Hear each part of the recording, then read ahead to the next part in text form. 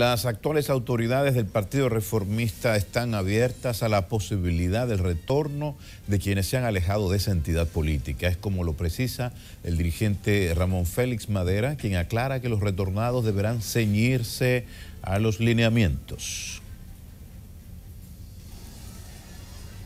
El Partido Reformista se apresta a juramentar este domingo a sus autoridades electas en la Asamblea Ordinaria del 17 de septiembre del año pasado.